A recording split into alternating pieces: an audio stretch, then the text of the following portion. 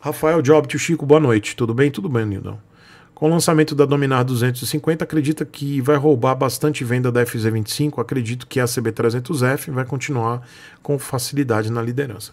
Sim, Rafael, eu acho que com a chegada da Dominar 250, a Bajaj ela vai vender se tiver Honda, se tiver FZ25, não interessa, ela vai vender. Ela vai vender muito mais. Me surpreende a Bajaj já botar essa moto à venda. Eu não entendi, tá? Eu continuo observando. Eu fiquei feliz com, a, com a, o anúncio da Bajaj Brasil quanto ao lançamento. Vai ser agora no dia 17, né? Se não me engano. 17 de agosto, parece que já vão vender nos concessionários. Dia 17, que é sábado, não é isso? Acho que é 17. Já é, as primeiras unidades serão disponibilizadas é, aos primeiros compradores. Mas eu estou muito comedido. Tá? Eu estou observando, quero entender é, como é que a Badiad ela vai distribuir. Vai ter moto à pronta entrega? Vão anunciar para gerar um hype e não vão ter para entregar? Eu quero observar. Eu quero entender se é estratégia de marketing da Bajaj para gerar um hype, só para dar aquele sustinho e para gerar o desejo nas pessoas, porque tem isso, tá, gente? Eu sou publicitário. Existem duas situações que podem ocorrer. Eu não estou dizendo que essa vai ocorrer e que essa vai ocorrer. Ou uma ou outra. Eu estou dizendo que podem ocorrer e que eu não sei. Então, eu, como publicitário, e eu estou observando, eu não estou desacreditando, não, mas eu preciso dar o que, a real para vocês. A Bajaj, ela tem três modelos, né? Dominar 400, o 200 e o 160. São ótimos. Eu recomendo as três, são ótimas. E eu, no Festival de Interlagos, acompanhei lá o a palestra do seu Valdir com Y, e ele falou, ele confirmou que sim, eles eh, já estavam com a Dominar 250 no Brasil e que já estava para lançar, e ele fez um suspense, mas deu a entender que eles iam lançar mesmo. Mas não sabia se era esse ano ou ano que vem. Pronto, bateram o martelo, anunciaram, falaram, ó, vai lançar esse ano. Vai lançar agora em agosto. Eu, rapaz. E anunciaram o ABS nos dois canais, excelente tanto da 160 quanto da 200. Perfeito, maravilhoso. Bajaj a gente tá de bater palma. Os caras estão brocando. Preço competitivo, motos ótimas. Problema de montagem existe. Não estou recomendando ainda a Dominar 400 temporariamente, gente, até que a Bajaj melhore aí seus processos de montagem. Só isso, tá? Quando, tio Chico? Eu acho que até final do ano, início do ano que vem, vale a pena comprar. Agora, eu não recomendo tá? Porque ao dominar 400 você pode ser sorteado e pegar uma moto com a montagem errada. Eu não recomendo. Só por isso, a moto é ótima. Eu super recomendo toda a linha Bajaj. E o custo-benefício é muito bom. Mas eu achei muito estranho eles adiantarem. Presta atenção na minha, no meu raciocínio, por favor. Eu sei que tem os analfadiades aí, a galera semi-analfabeta aí, a galera que. proprietário de Bajaj, ou quem quer comprar Bajaj. E amiguinho, você que é semi-analfabeto de verdade, que teve, é, não teve acesso à escola, não se ofenda comigo, não. Quando eu falo semi-analfabeto, não estou ofendendo a você que não sabe escrever direito ou que fala errado. Não é, não. Não, não se ofenda. Eu não estou sendo agressivo com você, que é semi-analfabeto de verdade. Eu estou sendo agressivo com o semi-analfabeto porque ele quer ser um estúpido.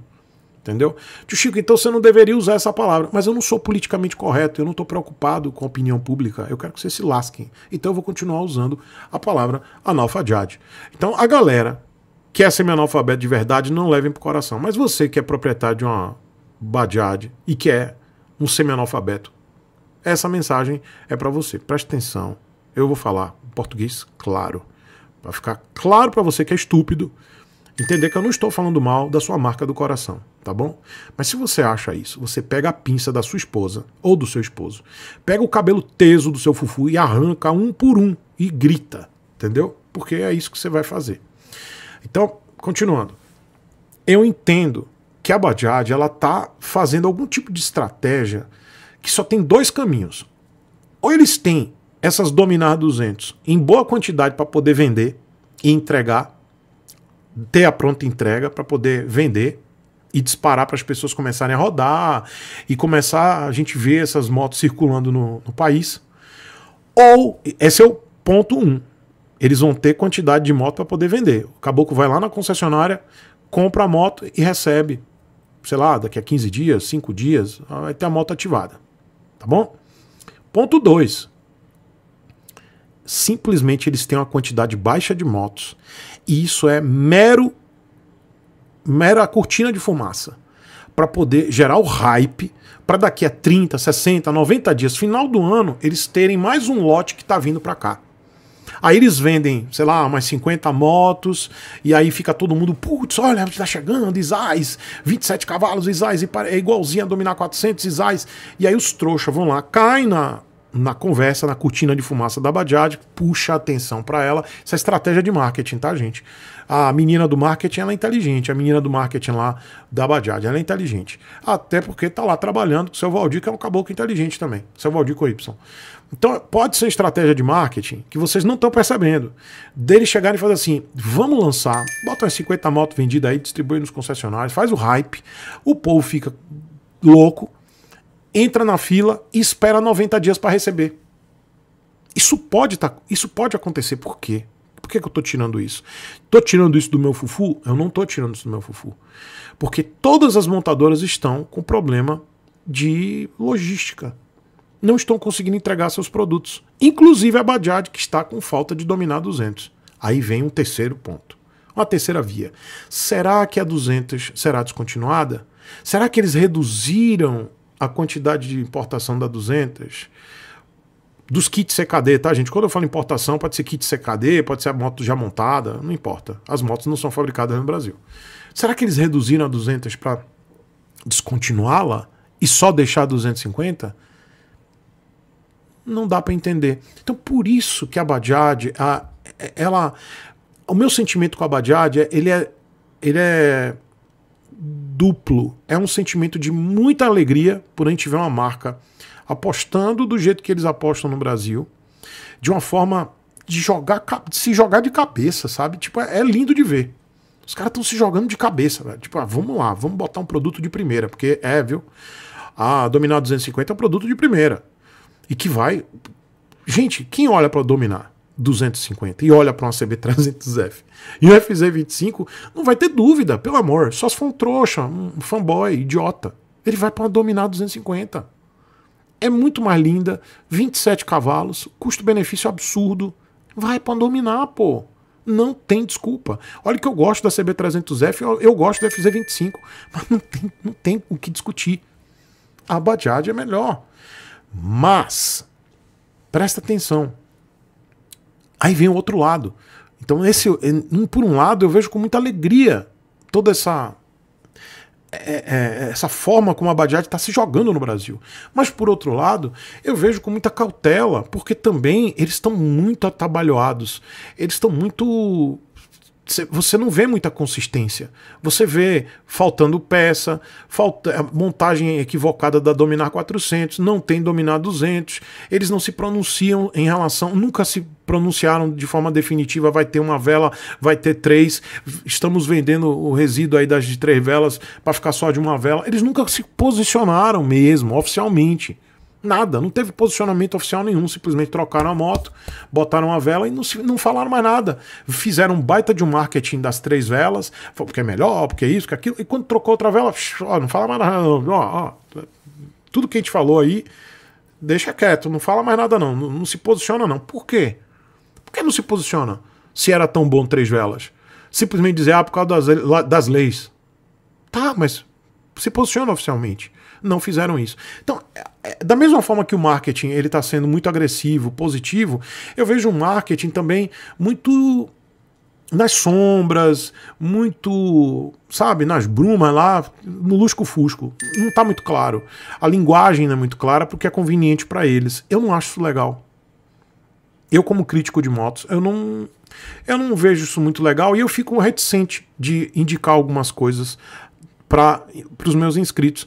E dinheiro a gente não acha ali no quintal, no capim, né? Só achei, achei aqui 25 mil reais. Não é assim.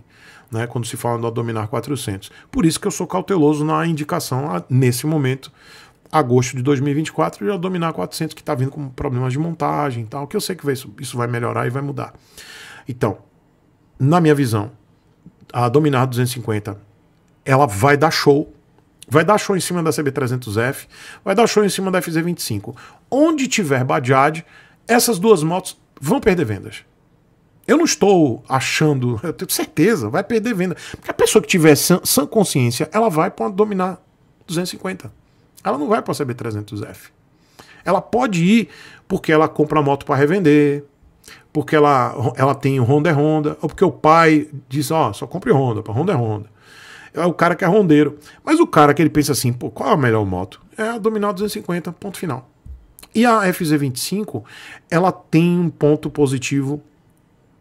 Ela tem um ponto positivo que supera todas as outras duas, mas um só. Custo-benefício de manutenção. Só. Como assim, tio Chico?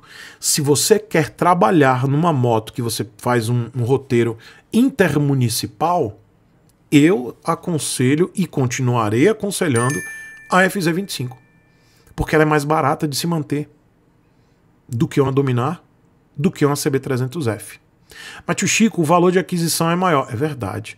Mas ainda assim, o custo a longo prazo, 5 anos com a FZ25, que é mais fraca, mas você vai ter um custo de manutenção para trabalho e peças à disposição muito mais facilmente do que uma Dominar 250 nesse primeiro, nesses primeiros anos. Então, para quem vai trabalhar FZ25, para quem vai se deslocar, pegar rodovia, enfim, tudo o resto, dominar 250. A CB300F, ela vai ficar um pouco perdida nesse meio do caminho aí. Não vai deixar de ser vendida, porque a Honda tem muito concessionário, mas em cidades que tem Bajaj, não. Na minha opinião, não. Yamaha vai perder venda, Honda vai perder venda. Então, gente, para os analfadiates, eu vejo como algo muito positivo. A moto vai ser um show, vai dar banho tá? de, de, de qualidade, vai ser uma moto legal, preço bom, tudo mais. Então você que é analfadiado, você está vendo que eu não estou falando mal da sua marca favorita. E continue sendo estúpido, tá? Sendo fanboy de marca. Mas para você que não é analfabeto funcional da Bajaj, você entendeu que pode ser uma jogada de marketing, tá aqui, jogada de marketing, deles venderem poucas unidades e aí o próximo, só é próximo lote daqui a 90 dias. Isso é jogada de marketing. Isso é para gerar o desejo, para gerar o hype. Soltou alguns grãozinhos de moto, liberou umas pouquinhas motos, fez o público brasileiro reverberar, os canais reverberando, como eu estou fazendo aqui. Eu estou reverberando, eu estou fazendo parte desse dessa estratégia deles, porque eles anunciaram. É relevante isso, eu tenho que reverberar. Mas isso é um marketing gratuito para eles. Então isso gera o quê? Você aí gera o desejo de você comprar uma Dominar 250. Aí você faz o quê? Vai na concessionária, chega lá, eu quero uma Dominar 250. Aí o caboclo lá vai dizer, ó, só tem daqui a 90 dias. Bingo. Os caras, eles não queriam lançar esse ano. Era pro ano que vem. Entendeu? Simplesmente isso, mas eles aproveitaram, não, vamos aproveitar o hype Vamos fazer isso, marketing inteligente. Vamos aproveitar o hype e vamos botar para vender o que a gente tem aqui, o estoque, gerar o desejo e a gente bota os trouxas aí para esperar na fila. Esse é o ponto. Você quer ficar na fila? E aí a Bajaj, ela pode ter um marketing assertivo, uma estratégia assertiva. Não vejo nada de errado nisso. Eu não vou recomendar. Se for para ficar na fila, eu vou dizer: não dê dinheiro para ficar na fila a não ser que você saiba quando vai receber e quanto vai pagar. Se a concessionária botar você numa fila e disser assim, ó, você pode dar dois mil reais de, é, da calção, mas você vai receber a moto dia tal e vai pagar o mesmo preço que a gente combinou aqui, e você assinou um documento, a concessionária também, botou o carimbão lá, tá tudo certo. Mas se a concessionária disser, ó, daqui a 90 dias eu não sei quanto é que vai ser e também não tenho data, não compre. Compra outra. Compra a FZ25, compra a CB300F. Ou, se a Bajaj realmente tem essas motos a pronta entrega, embaralhada, baralhada mesmo, aí, cara, vai ser uma revolução. Vamos aguardar. Eu tô desconfiado. Eu tô só observando.